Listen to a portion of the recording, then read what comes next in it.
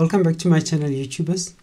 My name is Neo Morapedi and today I want to discuss something quickly with you. There's one feature that I was excited to see. Uh, it has recently been introduced. It's um, it's a video call or you can make a video call or a voice call using your computer on WhatsApp. You know we've got the WhatsApp um, application on the computer where um, you couldn't make any calls you just only typed. But now you can make a whatsapp call or receive a call uh, both video and voice using on, on your computer. So something that I, was excited to do. But now uh, having that functionality we know we have our webcams on our computers but some of the webcams are not of good quality. And especially when it comes to lighting you don't have good quality the picture becomes grainy. How can you improve your video on your whatsapp call video call and um, get the best experience from it? Well i'm here to show you. This is what you need. You need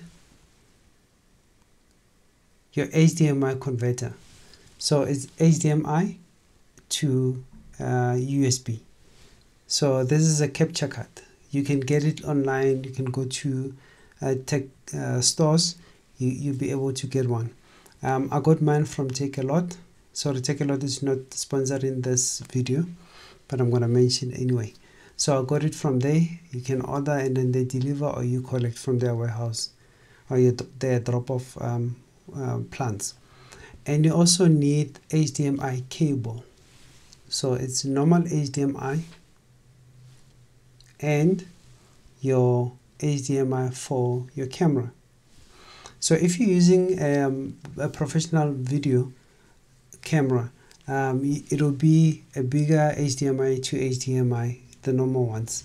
But then the camcorders like this one, uh, you need a, a small one. So they, the middle one there.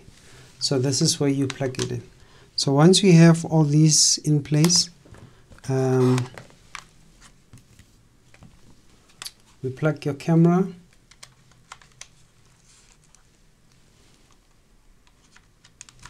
Like that. There's another way.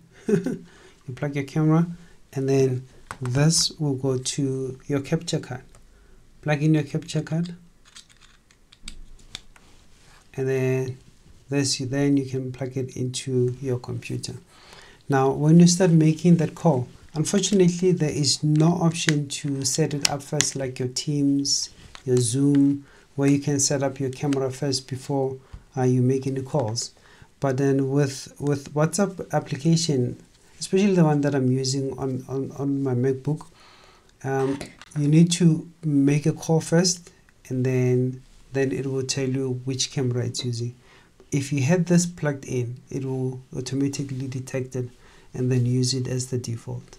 So that's how you get the best quality video when you do your video calls on whatsapp.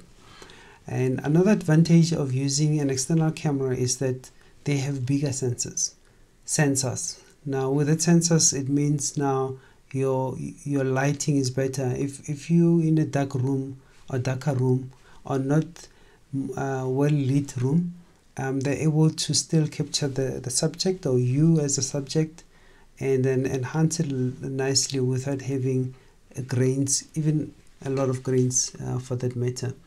So that's the beauty. You can zoom in, you can zoom out.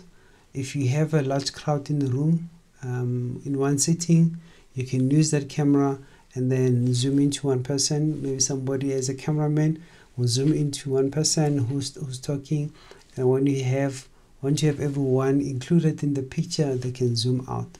So that's the beauty of having an external camera connected to your apps your whatsapp your zoom your teams um, any conferencing um, software that you, you might be using so that you can have a better experience. So yes this is my thought today. Um, that's how you can improve your video if it's the first time that you connect into my youtube please make sure to subscribe to my channel there. Please click there down there um, and there's a bell as well. Subscribe and a bell and then it will notify you whenever i upload new videos. Thank you for tuning in. My name is Neo Morapedi and i'm signing out